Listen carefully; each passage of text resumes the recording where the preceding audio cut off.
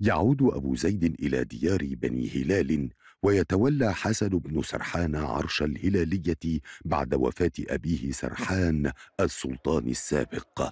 وبعد مقتل رزق بن نايل فارس الهلالية التاريخي يصبح ابنه أبو زيد فارس القبيلة الجديد ويأخذ بثأر أبيه من قاتله. يذيع صيت شجاعته ونبله وفروسيته بين العرب. وتلجأ سيدة عربية إلى أبي زيد وتطلب منه مساعدة ابنها اليتيم في جلب مهر زواجه من ابنة عمه. كان هذا المهر فرس العقيلية. ولذلك ارتبط أبو زيد الهلالي في المخيلة الشعبية الجمعية بإنه منصف الغلبان. المتعلم اللي عنده معرفة جيدة بالطب عنده معرفة جيدة بالتنكر عنده معرفة جيدة بمعايشة بيئات مختلفة يقرر أبو زيد مساعدة الفتى اليتيم ويذهب متنكرا إلى ديار بني عقيل ليجلب الفرس. يكشف بالصدفة مؤامرة لاغتصاب عالية بنت جابر العقيلي رأس القبيلة فينقذها ويقع في حبها وتسهل له مهمة الحصول على الفرس. خدته عليا ونزلت بيه على الخيمة اللي فيها الكحيلة الملك جابر مقيد الكحيلة بقيد حديد وحط المفتاح في قربه في البير اللي هتشرب منه الكحيلة قالت مش قلت لك بعيدة. قال تعالي يا قومي سنب أصيل ولها الأصل راقي. أدي الكعب أحمر كما الدوم قامت نازلة على المراق جابت القربة ويا المفاتيح. قالت اتفضل يا حبيبي. اتفضل امال يا مليح في قلبي مقايدة لهيبي عندما يصاب أبو زيد بقى بداء الحب وطبعا يعني إيه في الثقافة العربية الحكاية دي لا تنتقص من الرجولة وإلى آخره يعني عنترة ومش عارف طيب إيه بقى العلاج الشافي يعني دائما هو الوصال يقع أبو زيد اسيرا لحمى عشق عالية العقيلية وتقترح الجزية أن يأخذه دياب بن غانم وزيدان إلى ديار محبوبته في هودج خضرة الشريفة. وفي الطريق يسرق الهودج لكن الأقدار توصل أبا زيد داخل الهودج إلى حبيبته ويقرران الزواج. قعدوا ثلاثة أيام. شوف البلا واللي حاصل والعين حرمانة ما تنام. ما يلقوش الهوج الدواصل قال زيدان انت ضيعت خالي يا عم دياب دياب كان مفتري كان زغبي مفتاح شر۔ قال له خالك خالك خالك ما خالك كده كده ميت هتهوسنا بخالك هتروح معاي ولا أروح وحدي روح النجوع. بينما يقرر دياب بن غانم العودة إلى ديار الهلالية في غياب أبي زيد لينتزع كرسي الحكم من حسن ابن سرحان. الحقيقة لو رحنا البطل الثالث هو دياب بن غانم.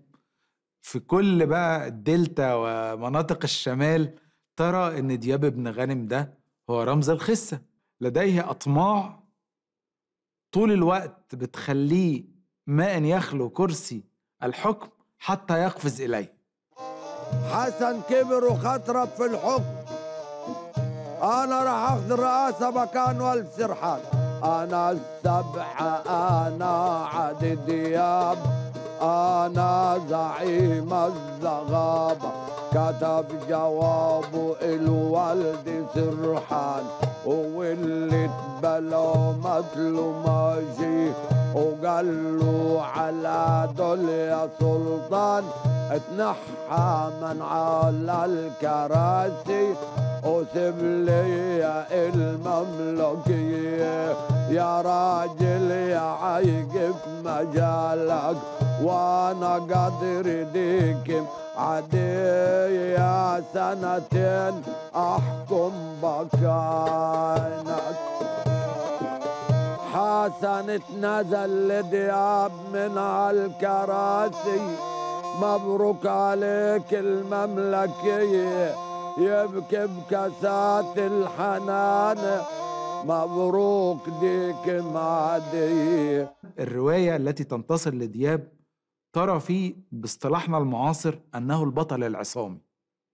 صحيح هو مش من السادة وصحيح هو مش من الهلايل وصحيح هو من الزغابة الأقل يعني مكانة لكنه هو اللي بنى نفسه بنفسه. كل منطقة بتنتصر لفارس من الفرسان. دول أمارة. أمارة يعني إيه؟ يعني ينتصروا لزناتي خليفة. يقول لك إحنا آه، أمارة من حمر اليمن. في منطقة تانية الأشراف يحبوا أبو زيد الهلالي. في منطقة تانية آه، آه، الهوارة أو الزغابة يحبوا آه، دياب بن غانم وهكذا. و- وجماعة تانيين يحبوا السلطان حسن. يبقى ال- إحنا قدام أبطال متعددين. يعود أبو زيد بعد أن تزوج من عالية العقيليه ويعيد حسن بن سرحان إلى كرسي الحكم الذي انتزعه دياب. وعندما يشح المطر وتجدب أرض بني هلال يقرر السلطان حسن البحث عن ديار جديدة للهلالية. أهم مشهد في السيرة الهلالية الريادة. عايزين واحد يرود أرض تونس. اللي هيروح يتطقص على الأخبار عشان يعرف آه، حجم الجيش اللي في شمال أفريقيا اللي هيقابله العرب. ده معلومات مهمة جدا. كلهم عارفين أن هذه المهمة ملهاش غير أبو زيد. طيب مين اللي يجرؤ إنه يقول لأبو زيد يا أبو زيد والنبي تيجي ترود أرض تونس؟ محدش. فعملوا إيه؟ قالوا ما يقدرش على ده غير الجزية. كان المجتمع العربي وقتها مجتمع ذكوري. مجتمع الراجل هو اللي ليه كلمته. ما كانش ممكن المجتمع ده يلجأ لامرأة عشان هي اللي تخلصه من مهمة إنما لما حصل حراك في المجتمع وظروف المجتمع اتغيرت وأصبح للمرأة وجودها وكيانها وأصبح لها رأيها وأصبح لها آه، المشورة فعمل إيه؟ فلجأوا ليها. عاوز لك واحد رائد يدوس الضروب قدام. يا جاز نقي واختاري وسط العرب قول فلان مين غير أبو زيد؟ ولد على البلاوي ضريان. باتوا معادل سلام زاقي لعيدة كاسات الندام. غير خضرة ما جابت الرجال. يلقى العرب قاعدين. ومجلس السلطنة عمران. يا أبو علي برجالك رايح فين؟ قالوا الحكاية عندك أنت يا أبو زيد. أتغرب على تونس؟ تدوس الضروب قدام. حتى عندما تصي- يصيب قومه آه، مجاعة وكذا يكون هو رأس الحرب التي تبحث لهم عن موطن, موطن جديد ليحيون فيه ويناسب يعني أن لا يتعرضوا للهلاك. أول ما سمع أبو زيد الكلام ده اتضايق. هيودع أهله زوجته حبيبته اللي كان بيحبها عالية بنته ريا أولاده القبيلة ده ممكن يموت. بس أبو زيد برضه مش سهل. فعمل إيه بقى؟ قال لها يجازيك الله يا جاز. يجازيك الله يا جاز كويت القلب بنار. زي ما اخترتيني يا جاز أنا منك لأستخار. مش أنت وجعت قلبي؟ هختار يحيى ومرعي. تالتهم يونس العشبان التلاتة دول كانوا إخوات الجازية وفي رواية إن هم أولاد آه، أخوة.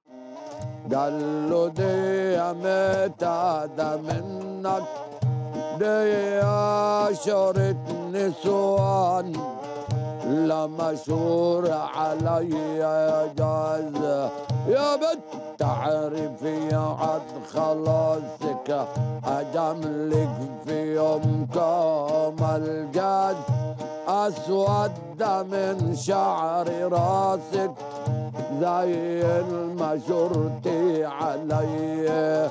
ومنك لآخد تلاتة يكوك يا جذب النار.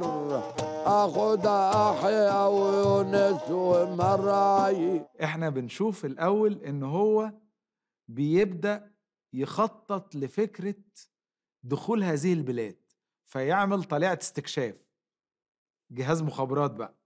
يجمع معلومات وي- وي- ويكون تصور وبعدين يبعت تقرير وبعدين يعد جحافل ويعد جيش لأن الحكاية يعني فهنا النبر والأسلوب في صياغة السيرة مختلف جذريا عن فكرة واحد كان بيقف يحارب جيش بأكمله.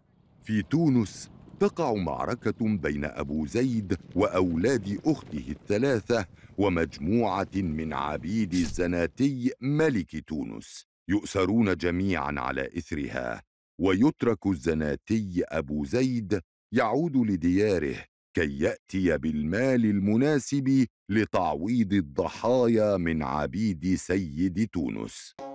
صباحا وسافر أبو زيد. يا سلام يا المصايب.